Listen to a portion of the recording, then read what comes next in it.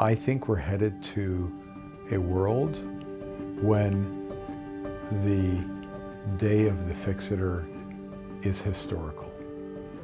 I am Johnny Chen. I am part of the engineering group here at NuVasive Specialized Orthopedics, or NSO.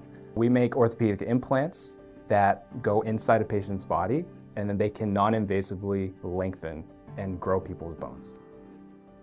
The Precice nail is an intramedullary rod that goes inside your bone.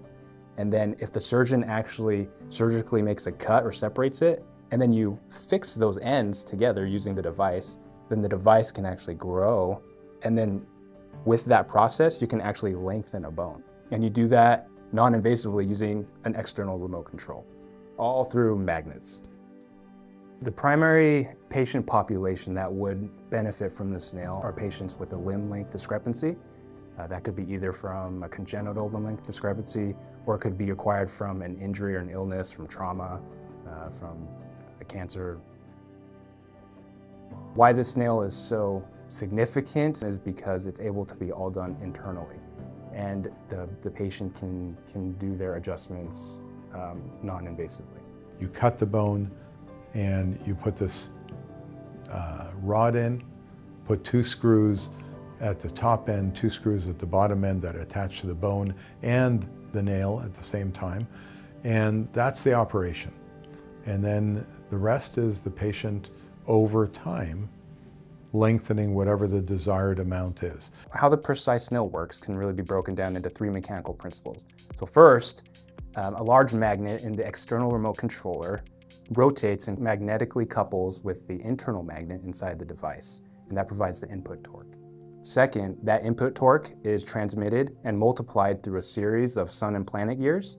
And then third, that rotation, that rotary motion, that output torque gets converted into linear force. And that's what provides the linear force for distraction and retraction in the device.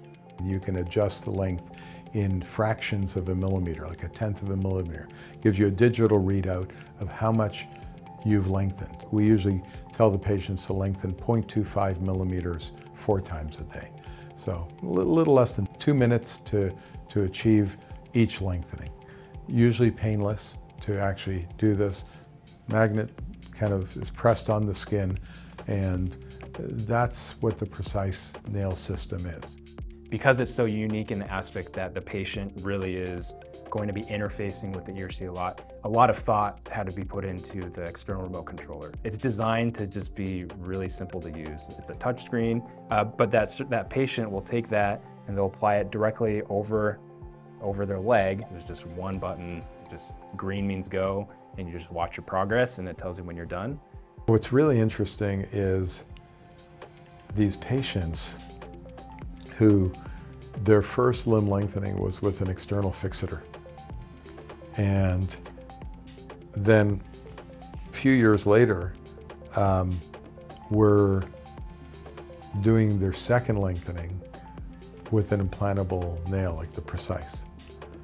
Less pain, less suffering, easier physical therapy, and very few scars because the pins leave a lot of scars. 98 plus percent of the uh, reconstructions that currently we can only do with an external fixator are doable with implantable devices. I think that day is coming and I don't think it's that far away.